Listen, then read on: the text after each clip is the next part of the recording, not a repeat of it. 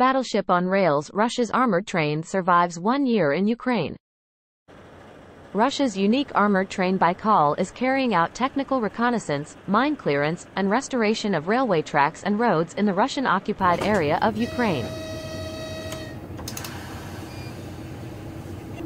The armored train is equipped with the necessary weapons to fight against enemy sabotage and reconnaissance groups, as well as anti-aircraft systems for destroying unmanned aerial vehicles.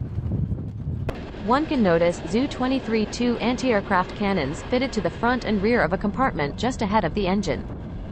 It also has an anti-drone gun.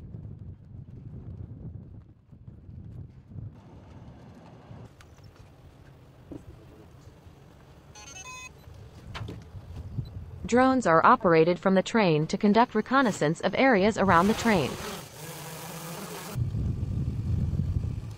No,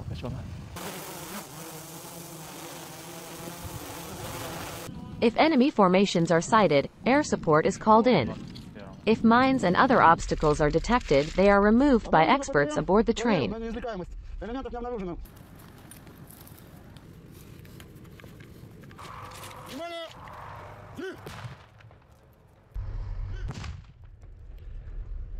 The train was first noticed in Ukraine during April 2022.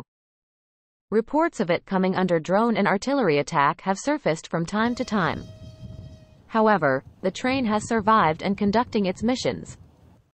Russia has four armored trains, Baikal, Amur, Terek, and Don. It retired the trains after the conclusion of the Second Chechen War in the early 2000s, but returned them to service in 2015. Thank you for watching DefenseMirror.com subscribe the channel and share the video.